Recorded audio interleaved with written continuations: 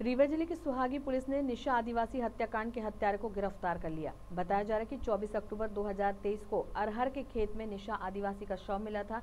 इसके बाद पुलिस द्वारा निरंतर जाँच की जा रही थी। क्राइम सीन पर मिले साक्ष्य एवं परिजनों के संदेह अनुसार पुलिस ने आरोपी निरंजन रावत को गिरफ़्तार कर लिया।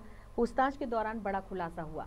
आरोपी ने बताया कि निशा उसकी पुरानी प्रेमिका थी और उसने उससे शादी करने से इनकार कर दिया था, जिसके कारण आरोपी ने उसकी हत्या कर दी। की घटना थी। इक्कीस तारीख को सूचनाकर्ता गंगा देवी आदिवासी, उम्र 50 वर्ष, थाने में आकर के रिपोर्ट की थी उनकी लड़की निशा आदिवासी, जो कि मिल नहीं रही थी, उसका गुम इंसान दर्ज किया गया थाना सोहागी में।